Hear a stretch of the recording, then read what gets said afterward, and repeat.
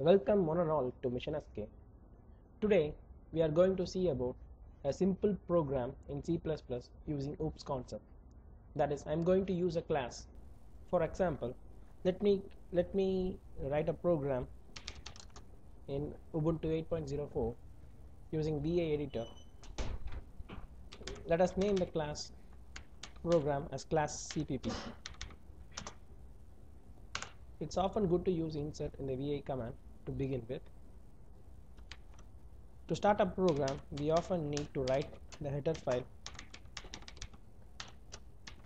After the header file, here we are using a special names function called using namespace std. This will avoid using the scope resolution operator for each and every time. So as a whole, we are using here.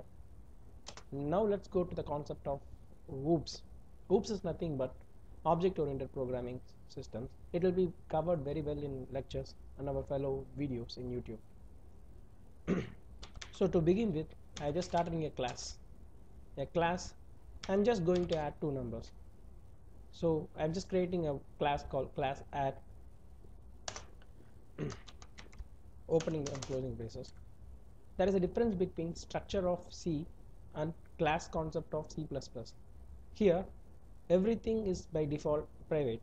For example, I'm def I'm defining two with three variables here. If I left it as by default, it is private by default.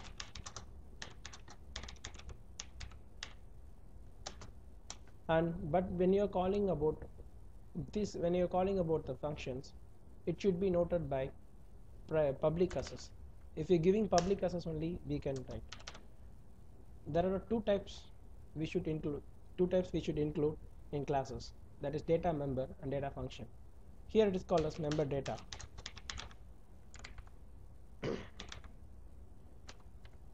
Similarly I'm just using a member function. I can use any return type in the member function. For example I'm using void get to get the data for adding the two numbers. And I'm going to use that in a variable called C in the void get I'm just getting the value values.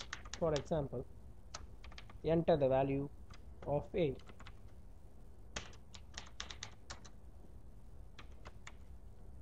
Enter the value a.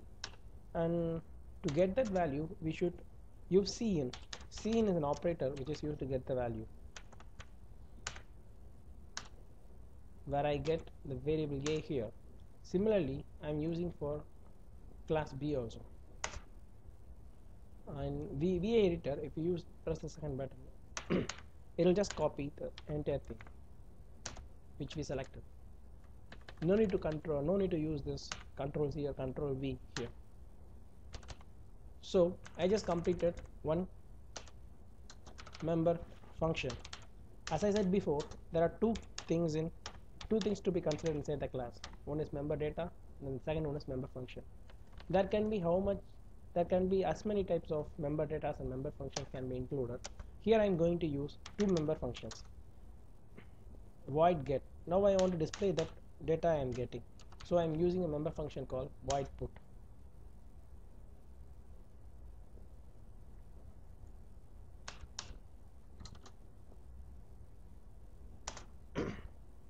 now I am just summing up. Doing the actual operation arithmetic operation inside the variable a c and I want to display that variable. That is simple. The sum is c. Now you should you can you may wonder what's the difference between using a normal program and this. We are calling using objects. To know about to appreciate this class concept you should wait until I write the main program here I made a mistake. You should note it before.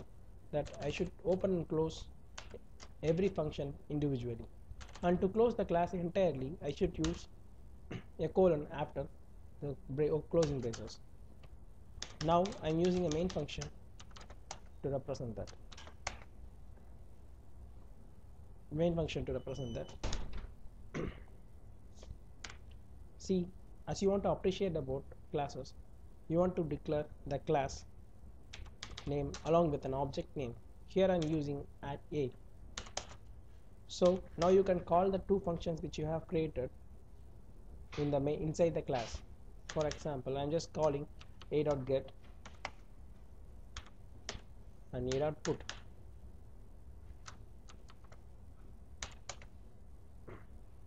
And you can close the brace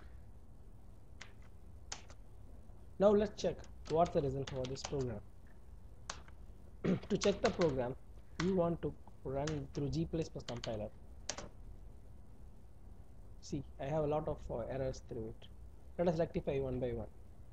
What I mentioned these errors may be unknowingly but it should be useful for you to understand.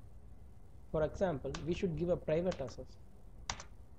I said by default it will be private but to call we need a public. So using member function you should give a public access over here. Now let's check how much it is rectified. Yeah. In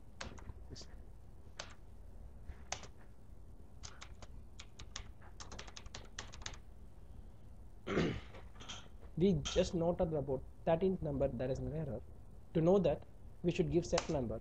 So we can pinpoint in the 13th position see I have left an arrow here. It will help me to rectify that.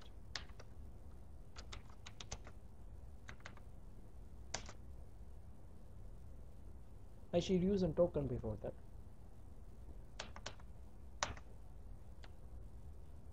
Nine twenty. Again, I'm using the set number.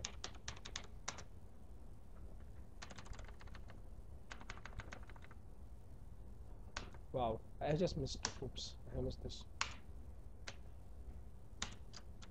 Hope it will be correct now. Good. We just got the result. To execute the result, we should use a dot out. I'm entering the value for A and for B and we got the sum as 23 that's fine that's for further delay